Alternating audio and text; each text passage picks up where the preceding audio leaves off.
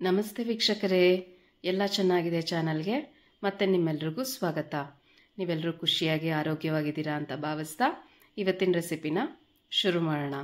ಇವತ್ತು ನಾನು ಮೃದುವಾದ ಜೋಳದ ರೊಟ್ಟಿ, ಹಾಗೆ ಸುಟ್ಟಿರೋ ಬದನೆಕಾಯಿ ಚಟ್ನಿನ ಹೇಗೆ ಮಾಡೋದು ಅಂತ ತೋರಿಸ್ತಾ ಇದ್ದೀನಿ. ಇದು ತುಂಬಾ ರುಚಿಯಾಗತ್ತೆ ಅಷ್ಟೇ ಮೃದುವಾಗತ್ತೆ ಜೋಳದ ರೊಟ್ಟಿ ಸಹ. ಇದನ್ನು ಹೇಗೆ ಮಾಡೋದು ಅಂತ ನೋಡೋಣ ಬನ್ನಿ. ಹಾಗೆ ನೀವಿನ್ನೂ ನಮ್ಮ ಚಾನಲ್ಗೆ ಸಬ್ಸ್ಕ್ರೈಬ್ ಮಾಡ್ಕೊಂಡಿಲ್ಲ ಅಂದರೆ ಚಾನಲ್ಗೆ ಸಬ್ಸ್ಕ್ರೈಬ್ ಮಾಡ್ಕೊಳ್ಳಿ. ಪಕ್ಕದಲ್ಲೇ ಇರೋ ನೋಟಿಫಿಕೇಷನನ್ನು ಆನ್ ಮಾಡ್ಕೊಳ್ಳಿ. ವಿಡಿಯೋನ ಸ್ಕಿಪ್ ಮಾಡದೆ ಕಡೆ ತನಕ ನೋಡಿ. ಮೊದಲಿಗೆ ನಾನು ಸುಟ್ಟಿರೋ ಬದನೆಕಾಯಿ ಚಟ್ನಿನ ಯಾವ ರೀತಿ ಮಾಡೋದು ಅಂತ ತೋರಿಸ್ತಾ ಇದ್ದೀನಿ.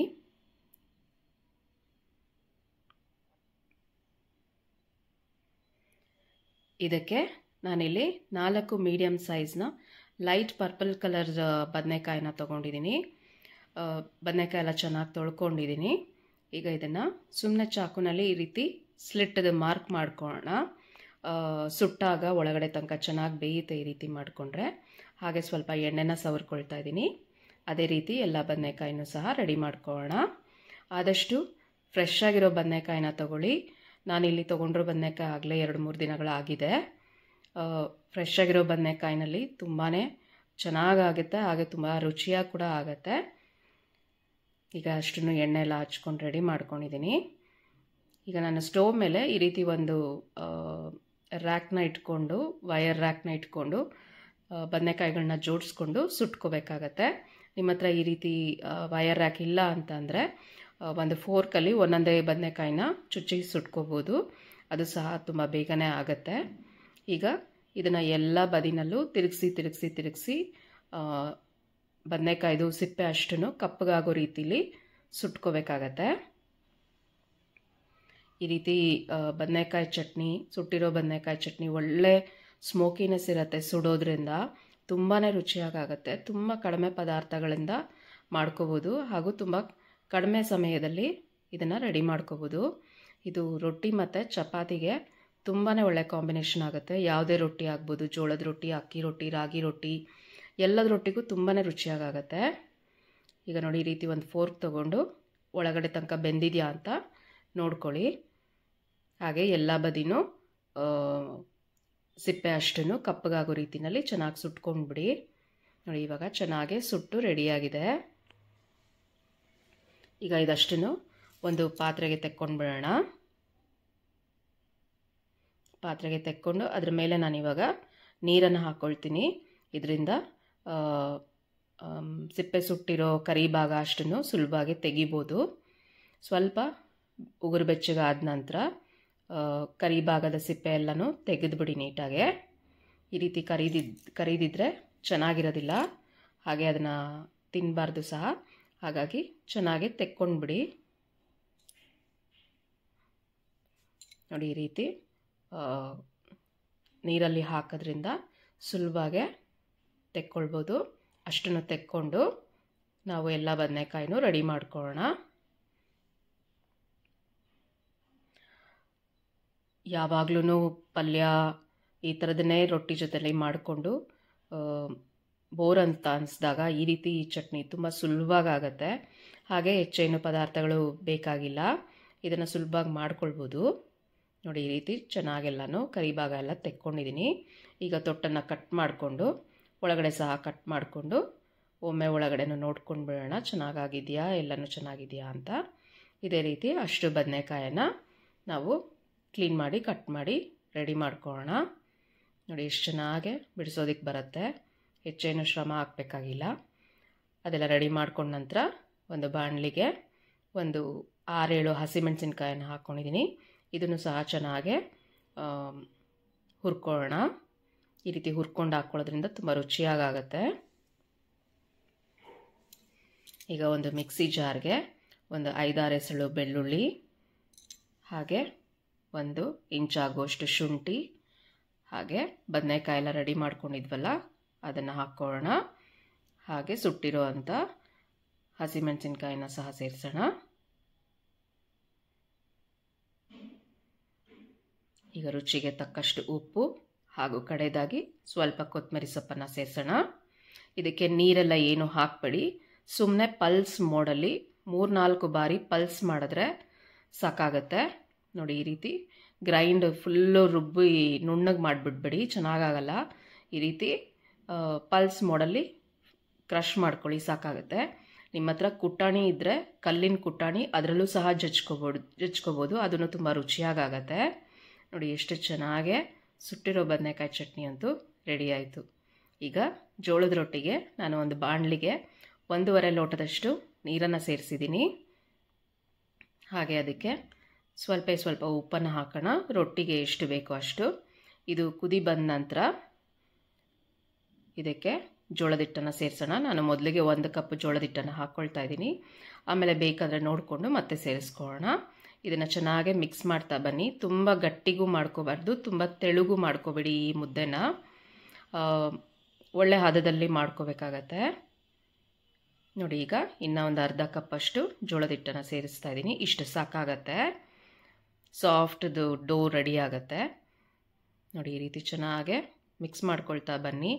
ನಿಮಗೆ ಈ ಹಂತದಲ್ಲಿ ಅದು ಗಂಟೆಲ್ಲ ಚಿಕ್ಕ ಚಿಕ್ಕದಾಗಿದೆ ಅಂತ ಅನಿಸಿದ್ರೆ ಏನೂ ತೊಂದರೆ ಇಲ್ಲ. ಅದು ನಿಮ್ಮ ನಾದ್ಕೊಂಡಾಗ ಎಲ್ಲನೂ ಸರಿ ಹೋಗುತ್ತೆ. ಈ ರೀತಿ ಪ್ರೊಸೀಜರಲ್ಲಿ ಜೋಳದ ರೊಟ್ಟಿ ಮಾಡಿಕೊಂಡ್ರೆ ತುಂಬ ಸುಲಭವಾಗೂ ಮಾಡ್ಬೋದು. ಹಾಗೆ ಅಷ್ಟೇ ಸಾಫ್ಟಾಗಿ ಸಹ ಇರುತ್ತೆ. ನೀವು ಪೂರ್ತಿ ದಿನ ಇಟ್ಟರೂ ಸಹ ಅದು ಗಟ್ಟಿ ಆಗೋದಿಲ್ಲ. ಸಾಫ್ಟಾಗೇ ಇರುತ್ತೆ. ಜೋಳದ ರೊಟ್ಟಿ ಮಾಡೋದು ಸ್ವಲ್ಪ ಟೈಮ್ ಕನ್ಸ್ಯೂಮಿಂಗ್ ಅಂತ ಅನಿಸ್ಬೋದು, ಕಷ್ಟ ಅಂತ ಅನ್ನಿಸ್ಬೋದು ಹೊಸದ್ರಲ್ಲಿ ಮಾಡುವಾಗ ಕಷ್ಟ ಅಂತ ಅನಿಸುತ್ತೆ. ಈಗ ಇದನ್ನು ಸಣ್ಣ ಉರಿ ಮಾಡಿ ಒಂದು ನಿಮಿಷಗಳ ಕಾಲ ಮುಚ್ಚಿಟ್ಬಿಡೋಣ. ನೋಡಿ ಇವಾಗ ಚೆಕ್ ಮಾಡಿಕೊಂಡ್ರೆ ಕೈಗೆ ಅಂಟದೇ ಇದ್ದರೆ ಚೆನ್ನಾಗಿ ಬೆಂದು ರೆಡಿಯಾಗಿದೆ ಇದನ್ನು ಒಂದು ಬಾಣಲಿಗೆ ತೆಕ್ಕೊಂಡು ಆರೋದಕ್ಕೆ ಬಿಟ್ಬಿಡೋಣ. ಕೈಯಲ್ಲಿ ಮುಟ್ಟೋದಕ್ಕಾಗುವಷ್ಟು ಆರಿದ್ರೆ ಸಾಕಾಗುತ್ತೆ. ಈಗ ನೋಡಿ, ಇಲ್ಲಿ ಚೆನ್ನಾಗಿ ಆರಿದೆ. ಇದಕ್ಕೆ ಒಂದು ಅರ್ಧ ಕಪ್ ಆಗೋಷ್ಟು ಜೋಳದ ಹಿಟ್ಟನ್ನು ಸೇರಿಸಿ ಚೆನ್ನಾಗೆ ನಾದ್ಕೋಬೇಕು. ನಿಮ್ಮ ಅಂಗೈ ಸಹಾಯದಿಂದ ಚೆನ್ನಾಗಿ ನಾದ್ಕೊಳ್ಳಿ. ನಾದದಷ್ಟು ಜೋಳದ ರೊಟ್ಟಿ ತುಂಬಾ ಚೆನ್ನಾಗಾಗತ್ತೆ. ತುಂಬ ಮೃದುವಾಗಿ ಬರುತ್ತೆ. ಎಲ್ಲೂ ಹರಿಯೋದಿಲ್ಲ.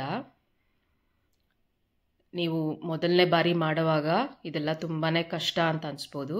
ಎರಡು ಮೂರು ಬಾರಿ ಮಾಡಿದ ನಂತರ ನಿಮಗೇ ತುಂಬಾ ಸುಲಭವಾಗಿ ಮಾಡ್ಕೊಳ್ಬೋದು. ಮೊದಲನೇ ಬಾರಿನೇ ಎಲ್ಲರಿಗೂ ಪರ್ಫೆಕ್ಷನ್ ಬರದೇ ಇರ್ಬೋದು. ಬಟ್ ಎರಡು ಮೂರು ಬಾರಿ ಪ್ರಯತ್ನ ಪಟ್ಟರೆ ಖಂಡಿತವಾಗ್ಲೂ ಎಲ್ಲರೂ ಸಹ ಈ ಮೆಥಡ್ನಲ್ಲಿ ತುಂಬಾ ರುಚಿಯಾಗಿ ಜೋಳದ ರೊಟ್ಟಿನ ಮಾಡ್ಕೊಳ್ಬೋದು. ನೋಡಿ ಈಗ ಚೆನ್ನಾಗಿ ಸಾಫ್ಟಾಗಿ ನಾದ್ಕೊಂಡಿದ್ದೀನಿ ನೀರೆಲ್ಲ ಏನೂ ಎಕ್ಸ್ಟ್ರಾ ಹಾಕ್ಕೊಡ್ದು ಎಲ್ಲೂ ಈಗ ಒಂದು ಚಿಕ್ಕ ಉಂಡೆನ ತೆಕ್ಕೊಂಡು ಅದನ್ನು ಸಹ ಚೆನ್ನಾಗೆ ನೀಟಾಗಿ ನೈಸ್ ಮಾಡಿಕೊಂಡು ಲಟ್ಟಿಸ್ಕೊಳ್ಳೋಣ. ನೀವು ಎಷ್ಟು ಚೆನ್ನಾಗಿ ನಾದ್ಕೊಳ್ತೀರಾ ಅಷ್ಟು ಚೆನ್ನಾಗಿ ರೊಟ್ಟಿ ಬರುತ್ತೆ ನೋಡಿ, ಎಷ್ಟು ಚೆನ್ನಾಗಿ ಸಾಫ್ಟ್ ಬಾಲ್ ರೆಡಿಯಾಗಿದೆ. ಈಗ ನಾನು ಲಟ್ಟಿಸೋದಕ್ಕೆ ಅಕ್ಕಿ ಹಿಟ್ಟನ್ನು ಹಾಕ್ಕೊಳ್ತಾ ಇದ್ದೀನಿ ಅಡೀಲಿ. ಇದರಿಂದ ಚೆನ್ನಾಗೆ ತಿರುಗುತ್ತೆ ಲಟ್ಟಿಸ, ಲಟ್ಟಿಸುವಾಗ. ಚೆನ್ನಾಗಿ ಎರಡು ಬದಿ ಹಿಟ್ಟನ್ನು ಹಾಕ್ಕೊಂಡು ಸ್ವಲ್ಪ ಲೈಟ್ ಹ್ಯಾಂಡೆಡಾಗೆ ಲಟ್ಟಿಸ್ಕೋಬೇಕು. ಚಪಾತಿ ಅಷ್ಟು ಪ್ರೆಷರ್ ಹಾಕಿ ಲಟ್ಟಿಸ್ಕೋಬೇಡಿ ಜೋಳದ ರೊಟ್ಟಿಗೆ ನೋಡಿ ಸುತ್ತ ಈ ಥರ ಎಲ್ಲ ಕ್ರ್ಯಾಕ್ಸ್ ಬಂದಿದೆ ಅಲ್ವಾ? ಇದನ್ನೆಲ್ಲ ಈ ರೀತಿ ಲಾಕ್ ಮಾಡಿಕೊಂಡ್ರೆ ನಿಮಗೆ ಕ್ರ್ಯಾಕ್ಸ್ ಬರೋದಿಲ್ಲ ರೊಟ್ಟಿನಲ್ಲಿ. ಚೆನ್ನಾಗೆ ಸಾಫ್ಟಾಗೆ ಎಲ್ಲ ಬದಿನಲ್ಲೂ ಇರುತ್ತೆ. ನಿಮಗೆ ಎರಡು ಮೂರು ಬಾರಿ ಮಾಡಿದ ನಂತರ ಸುಲಭವಾಗಿ ಮಾಡ್ಕೊಳ್ಬೋದು. ಮೊದಲನೇ ಬಾರಿಗೇ ಇದೇ ಇದೇ ರೀತಿ ಪರ್ಫೆಕ್ಷನಲ್ಲಿ ಬರುತ್ತೆ ಅಂತ ಅಂದ್ಕೋಬೇಡಿ ಸ್ವಲ್ಪ ಪ್ರಯತ್ನ ಪಡಬೇಕಾಗತ್ತೆ ಅಷ್ಟೇ ಅದು ಹೇಳ್ತಾರಲ್ಲ ಕಲಿಯೋತನ ಬ್ರಹ್ಮವಿದ್ಯೆ ಕಲ್ತ ಮೇಲೆ ಕೋತಿ ವಿದ್ಯೆ ಅಂತ. ಅದೇ ರೀತಿ, ಹಾಗೆ ನಿಮಗೆಲ್ಲ ಗೊತ್ತಿರ್ಬೋದು, ಜೋಳ ತುಂಬಾ ಆರೋಗ್ಯಕ್ಕೆ ಒಳ್ಳೆಯದು ಜೋಳ ತಿಂದರೆ ತೋಳದ ರೀತಿ ನಮಗೆ ಶಕ್ತಿ ಇರುತ್ತೆ ಅಂತ ಸಹ ಹೇಳ್ತಾರೆ. ಹಾಗಾಗಿ ಜೋಳದ ಬಳಕೆ ಹೆಚ್ಚೆಚ್ಚು ಆಗ್ತಾ ಇದೆ ಈ ನಡುವೆ ಎಲ್ಲ ಕಡೆನೂ. ಸೊ, ನೀವು ಸಹ ಈ ರೀತಿ ರುಚಿಯಾಗಿ ಜೋಳದ ರೊಟ್ಟಿನ ಮಾಡ್ಕೊಳ್ಳಿ. ಮಾಡಿಕೊಂಡು ಮನೆಯಲ್ಲಿ ಖುಷಿಯಾಗಿ ತಿನ್ನಿ ಸಮಯ ಇರವ, ಇರೋವಾಗ ಮಾಡ್ಕೊಳ್ಳಿ. ನೋಡಿ ಈ ರೀತಿ ನಿಮಗೆ ಯಾವ ಸೈಜ್ಗೆ ಬೇಕೋ ಆ ಸೈಜ್ಗೆ ರೊಟ್ಟಿನ ಲಟ್ಟಿಸ್ಕೋಬೋದು. ನಾನು ಈ ತಿಕ್ನೆಸ್ಸಲ್ಲಿ ರೆಡಿ ಮಾಡಿದ್ದೀನಿ. ನೀವು ಎಷ್ಟು ತೆಳ್ಳಗೆ ಬೇಕಾದರೂ ಲಟ್ಟಿಸ್ಕೋಬೋದು. ಈ ರೀತಿ ಮುದ್ದೆ ಮಾಡಿ ಮಾಡೋದ್ರಿಂದ ಎಲ್ಲೂ ಹರಿದು ಬರೋದಿಲ್ಲ ರೊಟ್ಟಿ. ನೀವು ಮೊದಲಿಗೆ ಚಿಕ್ಕ ಚಿಕ್ಕದ ರೊಟ್ಟಿಗಳನ್ನ ಮಾಡಿಕೊಂಡು ಪ್ರಾಕ್ಟೀಸ್ ಮಾಡ್ಕೊಂಡ ನಂತರ ದೊಡ್ಡ ದೊಡ್ಡದಾಗೂ ಮಾಡ್ಕೊಳ್ಬೋದು. ಈಗ ಕೈ ಒದ್ದೆ ಮಾಡಿ ಸ್ವಲ್ಪ ಸುಮ್ಮನೆ ಹಿಟ್ಟೆಲ್ಲ ಹಂಚಿಗೆ ಜಾಸ್ತಿ ಹತ್ತದೇ ಇರಲಿ ಅಂತ ನೀರನ್ನು ಹಚ್ಕೊಂಡಿದ್ದೀನಿ. ಹಂಚು ಚೆನ್ನಾಗಿ ಕಾದಿರಬೇಕು. ಅದು ಆ ಹಂಚಿಗೆ ಯಾವ ಬದಿನಲ್ಲಿ ನೀರು ಹಾಕಿರ್ತೀವಿ ಅದನ್ನು ಹಾಕಿ ಈ ಕಡೆ ಉಲ್ಟಾ ಬದಿನಲ್ಲಿ ಮತ್ತೆ ನೀರನ್ನು ಒಂದು ಬಟ್ಟೆ ತೊಗೊಂಡು, ಒಂದು ಚೆನ್ನಾಗಿರೋ ಒಳ್ಳೆ ಖರ್ಚೀಫ್ ಅಥವಾ ಯಾವುದಾದ್ರೂ ತೊಗೊಂಡು ಈ ರೀತಿ ನೀರನ್ನು ಹಚ್ತಾ ಬರಬೇಕು. ಇದನ್ನು ತುಂಬ ಆರೋದಕ್ಕೆ, ನೀರು ಡ್ರೈ ಆಗೋದಕ್ಕೆ ಬಿಡೋಕ್ಕೆ ಮುಂಚೆನೇ ತಿರುಗಿಸಿ ಫ್ಲಿಪ್ ಮಾಡಿ ಹಾಕ್ಕೊಂಬಿಡಿ. ರೊಟ್ಟಿ ಮಾಡೋದಕ್ಕೆ ಯಾವಾಗಲೂ ಹಂಚು ಚೆನ್ನಾಗಿ ಕಾದಿರಬೇಕು.